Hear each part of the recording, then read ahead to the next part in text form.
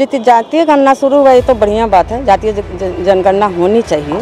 लोग जाति जनगणना नहीं मानते। नहीं तो ये जो जातीय जनगणना बिहार सरकार शुरू कराई है इस पे आप क्या बोलना चाहेंगे? अच्छा काम कर रही है बिहार? ये तो अच्छा काम नहीं है। अच्छा- तो आप बताइए आप ये गणना जो हो रही है वो गलत नहीं है। जातीय जनगणना बिहार सरकार करा रही है ये ये सही है? ये तो बिल्कुल सही है। इससे जात के बारे में पता चलेगा।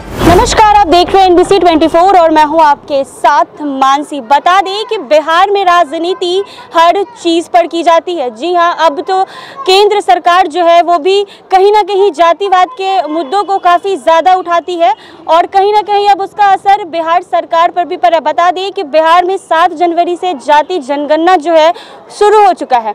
आखिर ये क्या है? बता दें कि बिहार सरकार के मंत्री, जी हाँ बिहार सरकार के शिक्षा मंत्री ने ये बयान दिया है प्रोफेसर चंद्रशेखर यादव ने यह बयान दिया है कि रामचरित्र मानस यानी जो रामायण है, वो नफरत फैलाती है। बता दो कि कहाँ से ये बात सही है?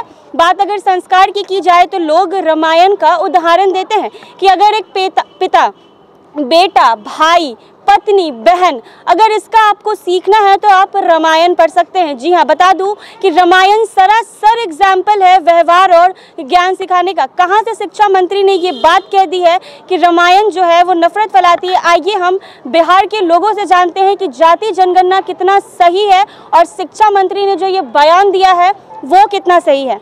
मैम, बताइए, बिहार में जाति जनगणना शुरू हो गया, इस पर क्या कहेंगी? जितनी जातीय गणना शुरू हुई तो बढ़िया बात है। जातीय जनगणना होनी चाहिए। तो अभी बिहार सरकार के ही मंत्री चंद्रशेखर ने ये बयान दिया है कि रामायण नफरत फैलाती है इस पर क्या कहेंगे? ये तो देखिए ये तो इस सरासर इसकी मैं कड़ी निंदा करती हूँ। ऐसा इनको बयान नहीं देना चाहिए। नहीं बिल्कुल नहीं देना चाहिए। ये आस्था के प्रति देखिए ये लोग खिलवाड़ कर रहे हैं और ये बहुत गलत। शिक्षा मंत्री होते हुए ऐसा बयान देना ये बहुत अशोभनीय निंदनीय बात है। तो आप अ, क्या करना चाहेंगे? इससे क्या मतलब बिहार सरकार ने अभी तक उनको कुछ बोला नहीं है तो इस पर आप क्या कहेंगे? उनको मंत्री से हटा देना चाहिए? देखिए यहाँ कुर्सी का खेला होता है। मंत्री से तो हटा देना चाहिए। उनको तो तुरंत हटा देना चाहिए था। इस तरह से विवादित बयान देना रामायण के प्रति लोगों की आस्था के प्रति खिलवाड़ कर रहे हैं और वोट मांगने आप जनता के पास जाते हैं और आस्था के प्रति ही खिलवाड़ करते हैं। और वो भी शिक्षा मंत्री होते हुए। शिक्षा मंत्री होते हुए भी तो ऐसे शिक्षा मंत्री को तो रहना नहीं चाहिए। नहीं हाँ बिल्कुल इनको हटा देना चाहिए। जब शिक्षा मंत्री ऐसे बयान दे सकते हैं तो फिर आम जनता और आम नेता की बात क्या कर सकते हैं? शिक्षा मंत्री से लोगों की उम्मीदें रहती हैं लेकिन शिक्षा मंत्री जब ऐसे करेंगे तो फिर बिहार की शिक्षा व्यवस्था का क्या हाल होगा? हाँ? बिहार बिहार के युवा पीढ़ी का भविष्य क्या होगा? देखा आपने किस तरीके से इन्होंने हमें ये बताया है कि अगर शिक्षा मंत्री ने ये बयान दिया है कि रामायण नफरत फैलाती है तो उनको अभी के अभी जिस भी पद पे वो है उनको उससे हटा देना चाहिए। हम अवधिया कुर्मी हैं लेकिन जाति को मानते नहीं हैं। नहीं मानते हम लोग बचपन से आज तक सर्वजात कास्ट में लोग रहे हैं फ्रेंड आज तक हैं। और इंटर के बाद बीएचयू से लौट के हम लोग आए वहाँ से तो पटने में आके सीखे जाति क्या होता है। आज भी हमारे ब्राह्मण कास्ट में दोस्त है भूमिहार कास्ट में दोस्त है। सर्व कास्ट में दोस्त है। हम लोग जाति गणना नहीं मानते। नहीं तो मानते ये जो बिहार सरकार जाती है जनगणना शुरू कराई है जो अब शुरू शुरू हुआ है तो इस पर आप क्या कहेंगे? इस पर भी हम ज़्यादा नहीं बोलना चाहेंगे। हम रामचरित मानस के बारे में हम बता सकते हैं। मंत्री जी मानस पे बोला गया है कि वो नफरत फैलाती है इस पर क्या कहना है? शायद मंत्री महोदय को मैं आम आदमी पार्टी का पटना प्रवक्ता हूँ। और हम ये कहना चाहते हैं कि मंत्री महोदय को जरा सा धर्म का ज्ञान नहीं है। लगता उन्हें उन्होंने अपने पूर्वजों से रामचरितमानस के बारे में नहीं सीखा। जिस धर्म ग्रंथ से पढ़ के हमारे पूर्वज लोग हम लोग को संस्कार सिखा के बड़ा कर दिए उस ग्रंथ के बारे में ये कहना कि उन्माद फैलाती है वो लड़ाई फैलाती है गलत है। हाँ कुछ राजनीतिक नेता लोग हैं जो रामायण के आधार पर अपना उन्माद फैला लेते हैं। लेकिन रामायण तो संस्कार से भरा अगर किसी को संस्कार सीखना तहजीब सीखना है और बड़ों का आदर करना है सीखना है तो रामायण पढ़ ले। फिर किसी गुरु की ज़रूरत नहीं पड़ेगी। और शिक्षा मंत्री जो है उन्होंने ये भी बोला है कि हम किसी भी हद पे माफ़ी नहीं मांगेंगे। नहीं उनको माफ़ी मांगना पड़ेगा मांगना चाहिए भी। ये बहुत गलत है। ये हमारे जितने भी हिंदू भाई का जितने भी भारतवासी हैं वो सबों से उनको माफ़ी मांगना चाहिए। ये बहुत गलत है। ये उनका कहना बहुत ही गलत है। बहुत निंदनीय है। मैं इसका घोर निंदा करता हूँ। और सामने भी आएँगे कभी मुखाबी मुखातिब हुए और हमारा आमना सामना हुआ तो उनके मुँह पे मैं बोलूँगा कि आपने बहुत गलत स्टेटमेंट दिया है। ये हमारा धर्म है वो हमारा धर्म ग्रंथ है रामायण और महाभारत। इसके खिलाफ ऐसा नहीं बोलना चाहिए। तो आप देख शायद सकते ज्ञानहीन है वो उनको ज्ञान नहीं है इस चीज़ का। तो आप देख सकते हैं वो बिहार के शिक्षा मंत्री होते हुए भी इतना विवादित बयान दिए हैं ये तो सरासर शर्म की बात है। जातीय जनगणना बिहार सरकार शुरू कराई है इस पे आप क्या बोलना चाहेंगे? अच्छा काम कर रही है बिहार ये तो अच्छा काम नहीं है। ये अच्छा काम नहीं है? ना। कि मतलब तो अच्छा काम नहीं है तो और समाज में द्वेष फैल जाएगा। द्वेष फैल जाएगी। मतलब भेदभाव होने लगेगा। हम्म। अभी बिहार सरकार के शिक्षा मंत्री ने यह बयान दिया है कि रामायण नफरत फैलाती है। अरे भाई वो तो वो तो कहते हैं कि इस्लाम सबसे बढ़िया धर्म है।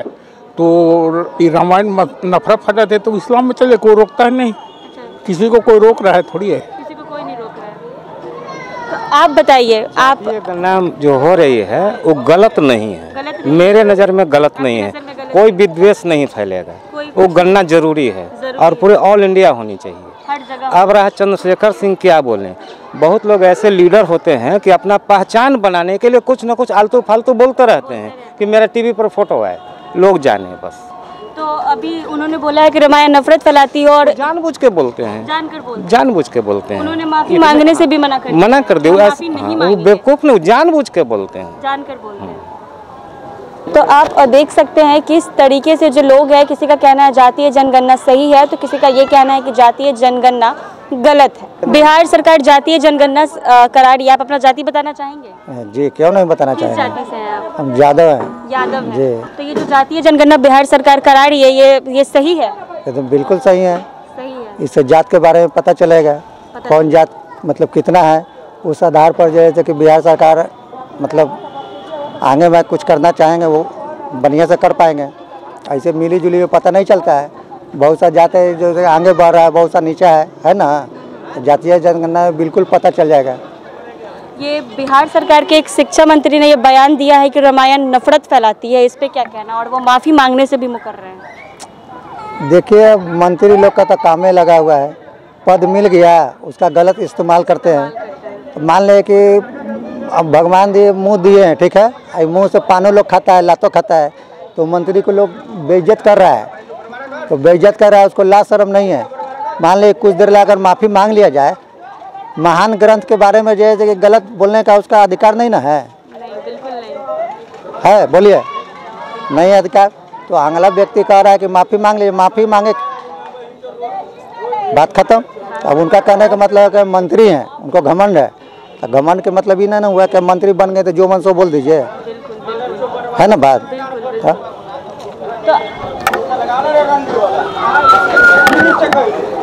तो आप देख सकते हैं किस तरीके से लोगों के अंदर जाती है जनगणना को लेकर सवाल है। कुछ का कहना है कि ये सही है, कुछ का कहना है कि ये गलत है। बात अगर बिहार सरकार के शिक्षा मंत्री को की करे तो उन्होंने ये बयान दिया है कि रामचरित्र मानस नफरत फैलाती है, जो कि सरासर गलत है। कहते हैं, अगर संस्कार सीखना है, व्यवहार सीखना है तो आप रामायण से सीखें और यहाँ बिहार सरकार के शिक्षा मंत्री जो ज्ञान जिनके अंदर होनी चाहिए, उन्होंने ज्ञान की भाषा को लेकर, रामायण को लेकर एक विवादित और गलत बयान दे दिया है कि नफरत फैलाती है। हालाँकि ऐसा बिल्कुल नहीं है। शिक्षा मंत्री को आकर माफ़ी मांगनी चाहिए, ऐसा लोगों का कहना है। सही तमाम अपडेट्स के लिए देखते रहे मेरे साथ एनबीसी 24